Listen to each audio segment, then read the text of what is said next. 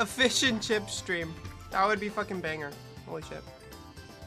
I don't know what that would entail besides me just like buying fish and chips and eating it. Yeah, one, stream I'm just gonna go live. I'm gonna have fish and chips in front of me. I'm gonna eat the whole thing and then end stream. That'll be it.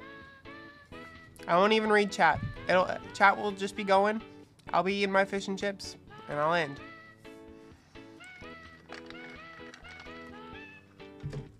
Would watch. Good. Good. Glad. Hi, Jordy. Welcome in. Millie Factor. Welcome in. Welcome in. I would watch the fuck out of that stream pod.